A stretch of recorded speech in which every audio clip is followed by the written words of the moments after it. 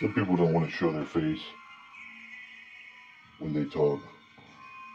And I understand that, I guess. In a lot of ways. But in a, a lot of other ways, it's it's bold to show your face because everyone wants to hide behind something else. Some sort of bullshit. Your face doesn't give you any credit, but it equalizes you in the world of anonymity where everyone's trying to talk to each other like an impersonal asshole, where everyone's trying to use everything against you.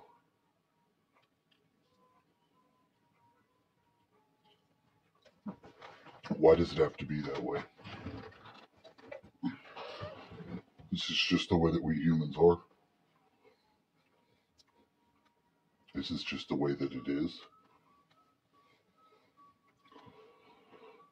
Now, I've heard the cult of personality a lot lately, and I've heard it obviously at different times. It's quite a famous saying, but that's when you have like a cult. When you have a cult of followers and cult of followers.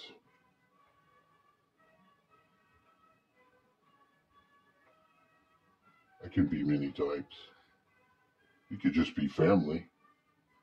On one hand, if you have like a large family and you communicate to them, if you live in a small town, it could be your community. Because people in real small towns mostly know each other to some degree or not.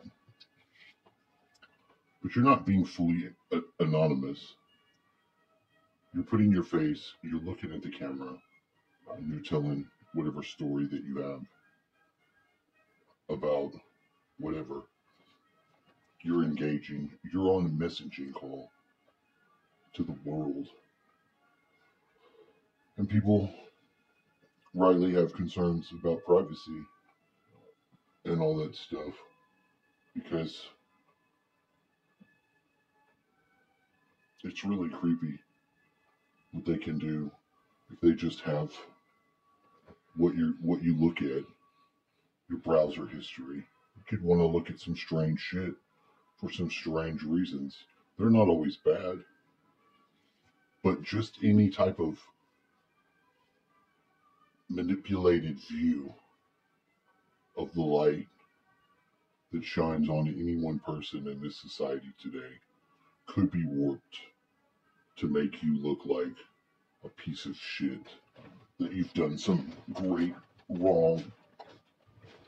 That's why there is such a move to get people so triggered by just simple terms. Because once you get people thinking that the other is so vastly different than the self, that you can um, hate them, attack them, or basically point your finger and say, You, you other, you other person. You can make it, you can make them like subhuman. And that's what people tend to do. So we need to tend to not.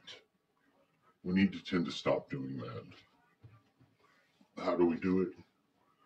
First, I think we do need to show our face. Show our face show who the fuck you are.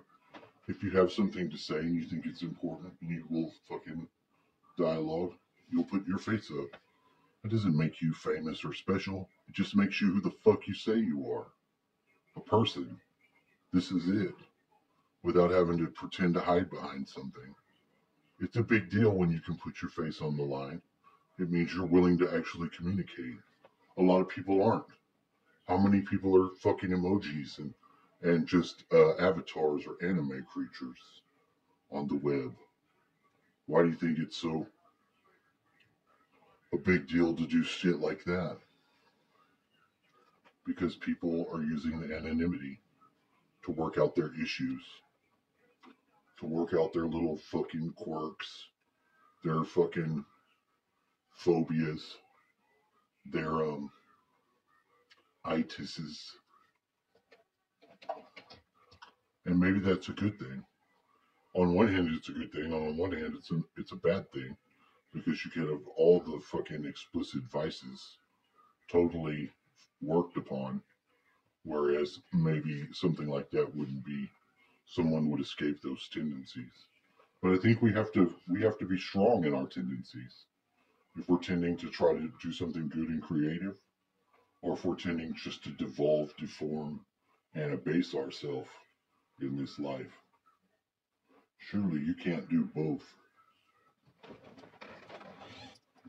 There's always going to be a mixed, varying degrees of this and that, yes and no, black and white in this world.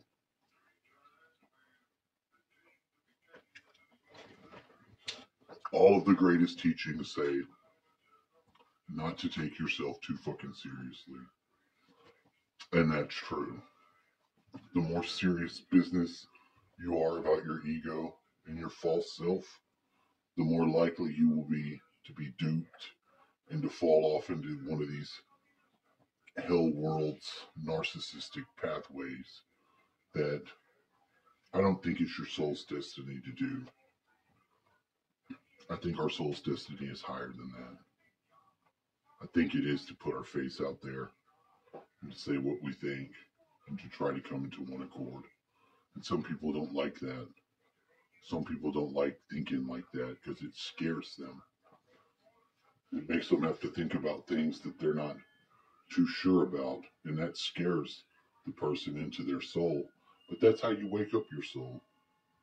You have to have different realizations, fears, um, dark nights, so that you can come through this world and make some sense of it. And you do have to decide what your way is going to be, if the smile is going to be on your face for your own reasons, or if they're going to put one on you. And it's not that difficult. It kind of is a wondrous thing to be in here and to be able to share with one another this horribly limited experience should gain some sort of amazing type of finality for when it's done. Because I do believe this is probably one of the hardest places to come to and be. I do think that. And I do think we may know that before we come here. So I can't get off into the, oh, this realm is fucking shit and it's a punishment or it's a prison. No, it's hard. It's dark.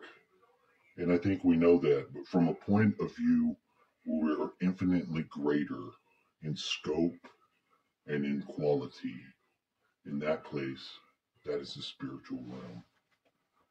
That is the spiritual realm. And although balance is extreme here, and it is, and it feels that way, this is just a very limited, dense experience that definitely has to have a reward to it. There has to be an exceedingly great reward for coming to this world and not being fucked off by it. Not being fucked off by it. Even if you survive to die of natural causes or get hit by a car and are off of this earth, you never know. Life is so fragile, you know we ain't shit. You could easily just drop a block on somebody's head and take them out, you know. We're like those Goombas in, in Super Mario Brothers that you step on. Boom, boom. Just Goombas. So don't be a Goomba. Be a turtle with a shell at least. Be Flying Hammer Brothers. Whatever you gotta do to survive it. I'm just saying. There's a reason to put your face on blast. And there's a good reason for that. Because that means that in all this fake truth ass bullshit, there's one area where you're what you say you are, is what you is, is what you're in, your meat suit.